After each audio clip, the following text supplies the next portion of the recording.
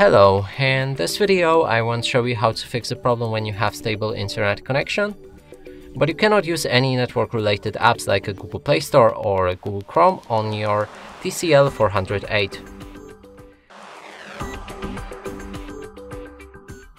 And first let's try to download something from a Google Play Store.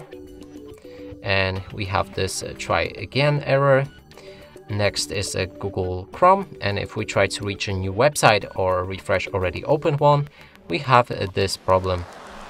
And to fix both of them, we'll need to access our settings, then scroll all the way down for the system.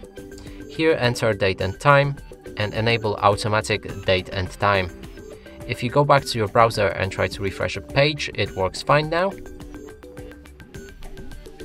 And the same is with Google Play Store we can try to download something and it should work fine. And that's it for this video, hope you like it, please consider subscribing to our channel, leave a like and a comment below.